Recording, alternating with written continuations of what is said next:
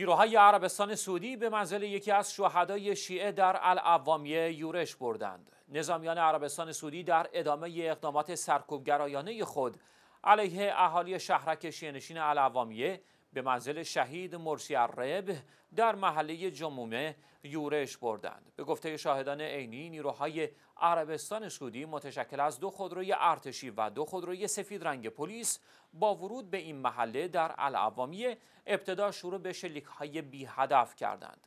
این نیروها پس از شلیک های بی هدف منزل شهید مرسی الربه را هدف قرار دادند و پس از آن به خانه این شهید یورش بردند.